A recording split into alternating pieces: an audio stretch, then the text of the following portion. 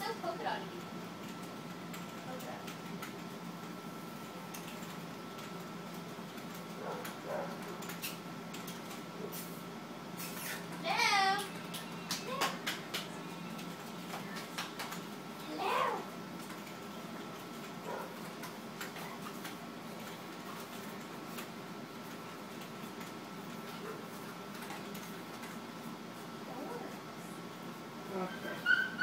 So Duke had a microchip that went back to the